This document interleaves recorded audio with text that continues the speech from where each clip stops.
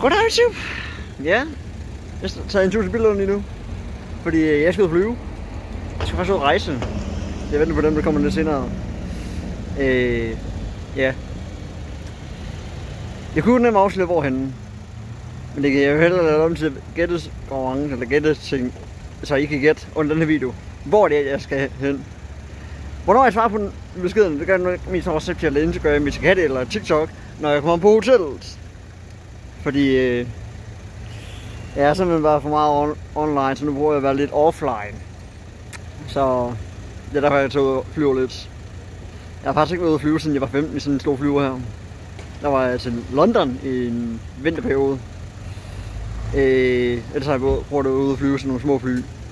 Så jeg står her og venter på det andet.